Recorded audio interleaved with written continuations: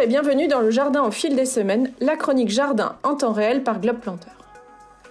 Cette semaine, me promener dans le jardin m'a inspiré une association de plantes pour un massif. Laissez-moi vous la présenter.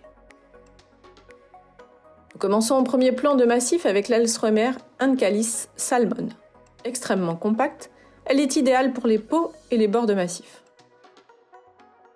En second plan, l'hortensia paniculée Bonfire apporte sa belle floraison blanc-vert qui tournera à un beau rose soutenu en fin d'été. Une graminée telle que le panic sangria viendra alléger la floraison dense de l'hortensia et ajouter une dimension verticale au massif. Pour ajouter une touche de couleur, quasiment toute l'année, les jeunes pousses du Photinia corallina sont parfaites. L'arbuste reste compact et naturellement arrondi. Nous finissons avec le laurier cerise titan, qui porte une belle fructification pour les oiseaux.